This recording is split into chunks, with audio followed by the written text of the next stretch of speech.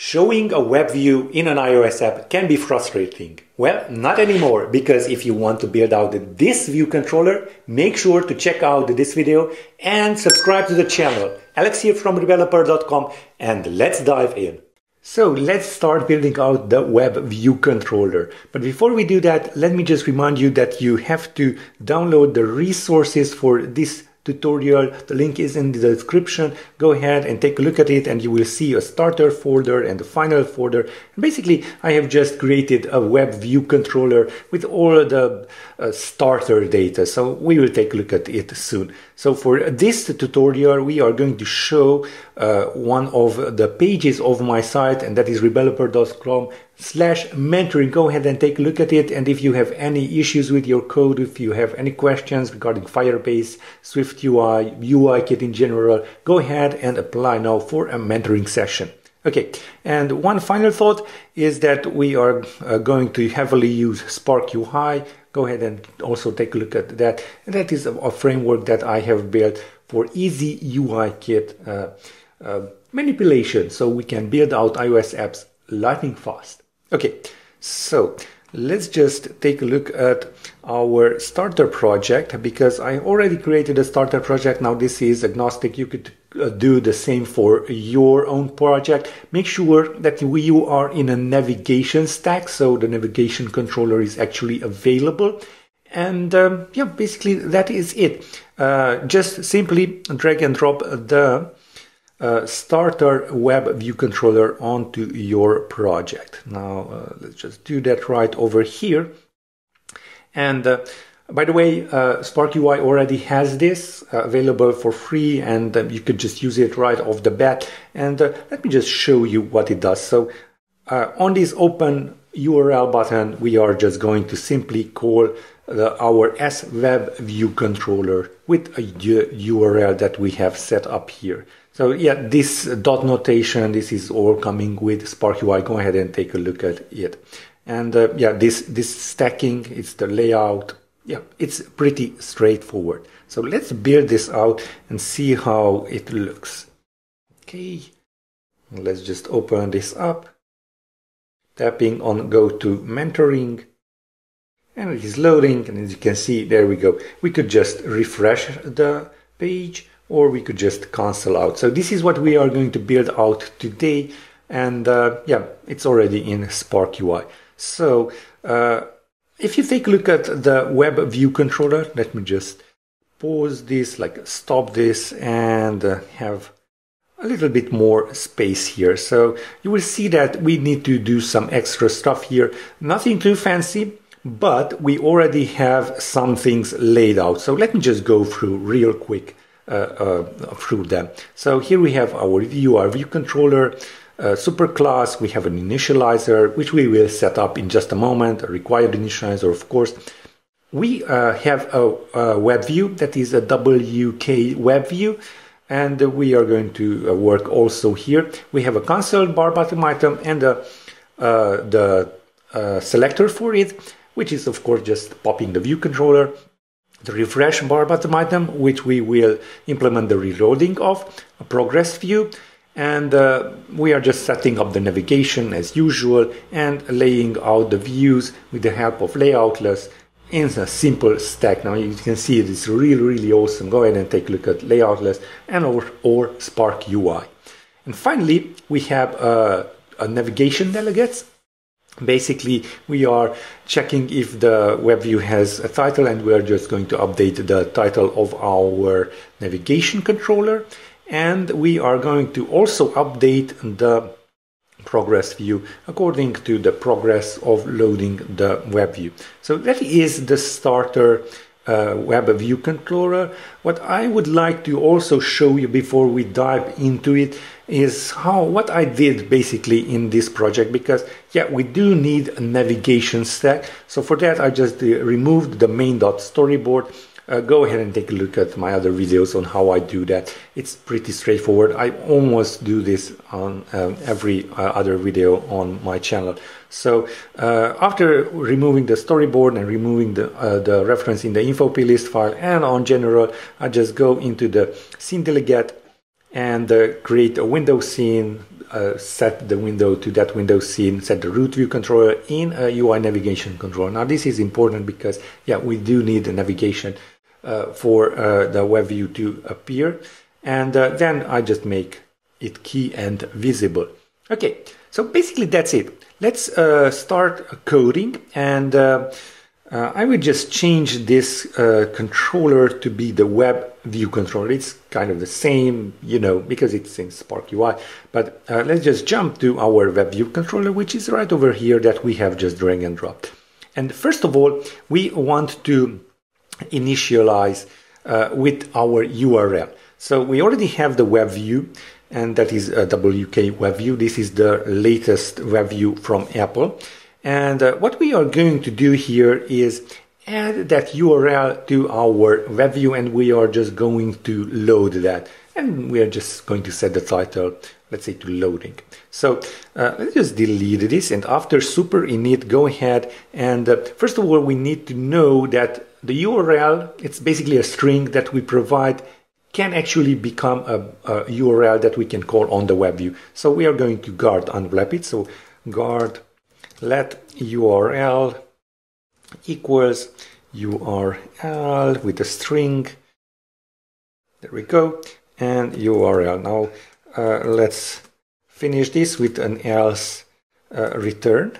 So we are not going to do anything. Now again, this URL is a new URL and this URL is the URL that we provide in the initialization. Now that we do have a valid URL, we are going to create a URL request. So uh, let URL request equals URL request and uh, let's choose the simple one with a URL. There we go, we have a URL request. And finally, we want to load this URL request on the web view.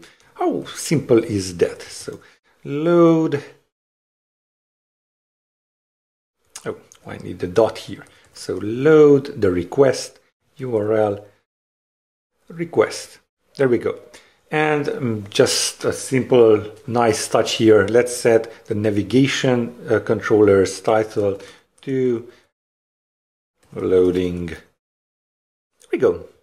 Really, really nice. So let's see how that looks like because uh, we already have kind of a working web view and uh, it should be really nice, but we will add some more finishing touches. So let's step go to mentoring. As you can see, it's loading and it's uh, loading, but we cannot refresh at the moment. But of course, we can cancel out because that is already set up in the navigation stack.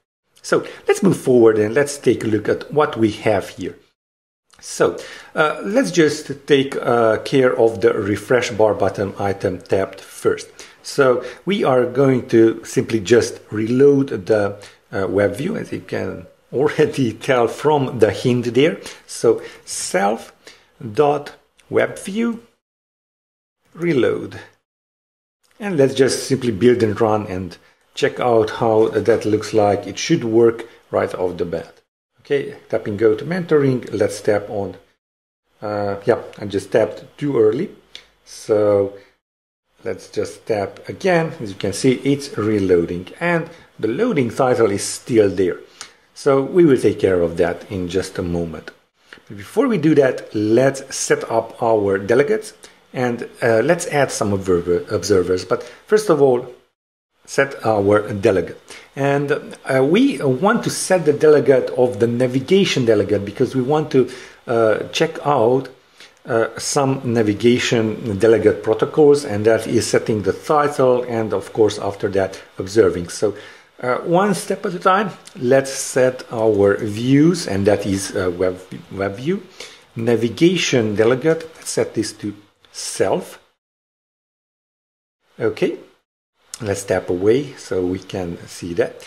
And after that, let's update the title. So uh, the web view that we are getting back from the did finish navigation does have a title. So we are going to set the navigation title to the, be the web views title. There we go. It's an optional, but yeah, the navigation title is also an optional. So let's build and run that and see what we got here.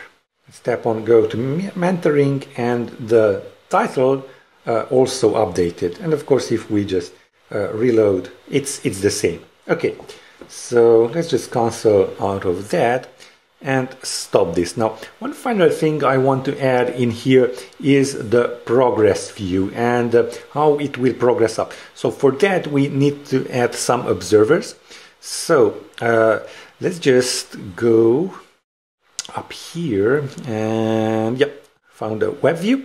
And uh, in the web view, let's add some observers. Now, uh, this is kind of typo proof, uh, typo prone. So I will just copy out from my uh, other document here and uh, we just go through what all of this means. So pasting in there. So we are going to just add two observers. One is the estimated progress and the other one if uh, the web view is a new, uh, the web view URL is a new one. Now uh, let's just handle these and you will see how that works in just a moment. So uh, let me just copy also that out and just go ahead all the way down there uh, to the observe value.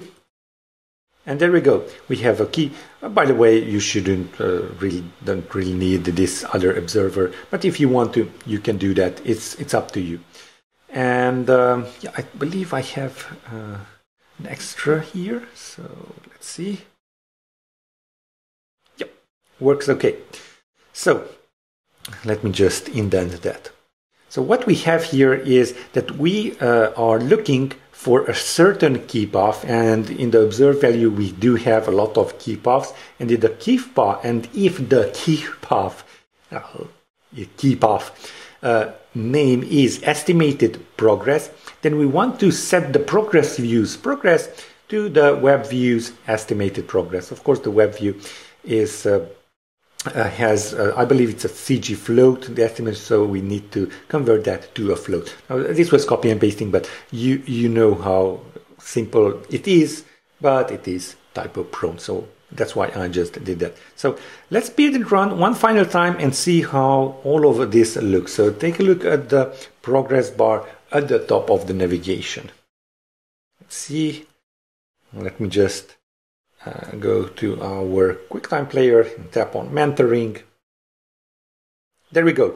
It was a black there. You couldn't see really see it, but if you set the progress view uh, to be a little bit um, in bigger in height, then uh, it will definitely appear there. Okay, and it's loading really, really fast. Yeah, good site. Okay, that is it for loading a web view with a few simple lines of code. Let me just go back here and show you how easy that was. Just create a controller and pop it, push it onto the navigation controller. Now I ho really hope you enjoyed this video. If you did, go ahead and give it a thumbs up. It really likes with the YouTube algorithm. Now you know how easy it is to show a web view controller in iOS. Now I want you to hit that notification bell because in the next video I will show you how you can easily download images in your iOS app with the help of Kingfisher.